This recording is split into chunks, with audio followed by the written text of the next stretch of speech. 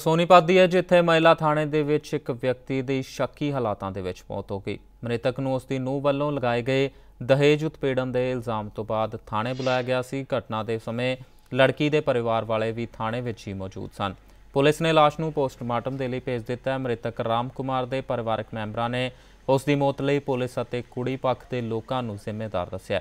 ਉਹਨਾਂ ਦਾ ਇਲਜ਼ਾਮ ਹੈ ਕਿ ਰਾਮ ਕੁਮਾਰ ਨੂੰ ਥਾਣੇ ਬੁਲਾਇਆ ਗਿਆ ਸੀ ਅਤੇ ਲੜਕੀ ਪੱਖ ਦੇ ਲੋਕ ਪਹਿਲਾਂ ਤੋਂ ਹੀ ਉੱਥੇ ਮੌਜੂਦ ਸਨ। ਲੜਕੀ ਪੱਖ ਦੇ ਲੋਕਾਂ ਨੇ ਸਮਝੌਤੇ ਲਈ 7 ਲੱਖ ਰੁਪਏ ਦੀ ਮੰਗ ਰੱਖੀ ਸੀ। ਰਾਮ ਕੁਮਾਰ ਦੇ ਪਰਿਵਾਰ ਦਾ ਕਹਿਣਾ ਹੈ ਕਿ ਥਾਣੇ ਵਿੱਚ ਤਾਇਨਾਤ ਏਐਸਆਈ ਨੇ ਉਸ ਉੱਤੇ ਪੈਸੇ ਦੇਣ ਦਾ ਦਬਾਅ ਬਣਾਇਆ ਤੇ ਪੈਸੇ ਨਾ ਦੇਣ ਉੱਤੇ ਲੌਕਅਪ ਵਿੱਚ ਬੰਦ ਕਰਨ ਦੀ ਗੱਲ ਵੀ ਕਹੀ। ਇਸੇ ਕਰਕੇ ਉਸ ਦੀ ਛਾਤੀ ਵਿੱਚ ਦਰਦ ਹੋਇਆ ਅਤੇ ਉਹ ਜ਼ਮੀਨ ਦੇ ਉੱਤੇ ਡਿੱਗ ਪਿਆ।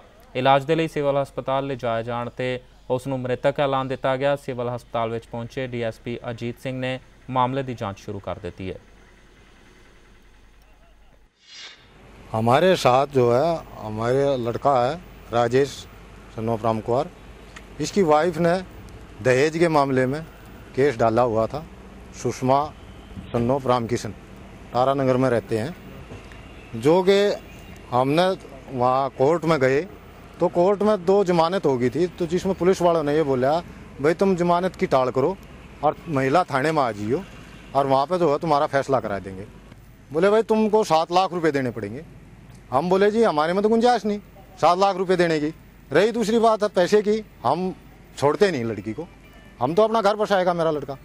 क्या प्रेशर प्रेशराइज कौन कर रहा था? प्रेशर आज पुलिस वाले रामफल एसआई एक और था उसके साथ में और रामकिशन जो उसके साथ में बंदे आए हुए थे उन्होंने प्रेशर किया हमारे को।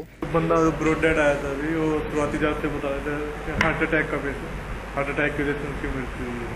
और जो भी आगे है वो पोस्टमार्टम रिपोर्ट के बाद ही कंफर्म होगा पक्ष में जो लड़के के पिता थे उनका जो है देहांत हो गया डेड बॉडी जो है अ, अस्पताल लेकर आए हैं और पोस्टमार्टम के बाद मृत्यु के कारण का पता चलेगा नहीं उनकी जो है काउंसलिंग चल रही थी आपस में लड़का पक्ष लड़की पक्ष जो है काउंसलिंग कर रहे थे और जो भी ये अ, दरखास्त देंगे उस पर कार्रवाई करेंगे जांच की जाएगी ਖਬਰਾਂ ਦੀ ਦੁਨੀਆ ਵਿੱਚ ਆਓ ਸਾਡੇ ਨਾਲ ਕਦੇ ਵੀ ਕਿਤੇ ਵੀ ਜੁੜੋ